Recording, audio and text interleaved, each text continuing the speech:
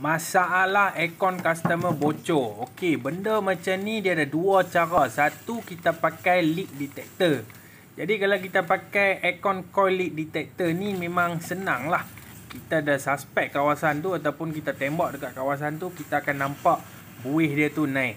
Jadi cara ni lebih mudah daripada kita nak buka seketui, ya. kita nak rendam semua dalam air lah. Ha, yang tu dia akan makan masa. Jadi yang ni kita dah nampak kawasan yang suspek dekat area yang kita tunjuk tak sat tu lah yang mana dia naik buih. Satu lagi cara kita boleh buat adalah buka dan rendam seketui dalam ayak. Ah, ataupun tangki ayak lah ni kan. Ah, yang ni boleh buat tapi yang ni dia makan masa lah. Sebab nak buka seketui berbanding dengan cara ni kita dah tahu suspected area kita sembuh saja kita punya coil leak detector Ha, lepas tu kita dah boleh tahu dah kat mana kawasan kebocoran dia. Okey, kalau tuan-tuan nak dapatkan produk ini, tekan link di bawah. Ada beg kuning, hampa boleh beli terus lah.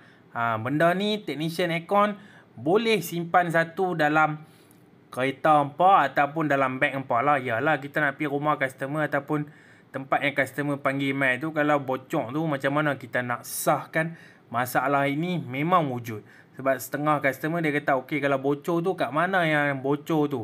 Ha, jadi ini adalah salah satu tools yang kita boleh guna pakai untuk pencarian bocor. Okey, tekan link di bawah ataupun tekan beg kuning. Ah. Thank you, bye-bye.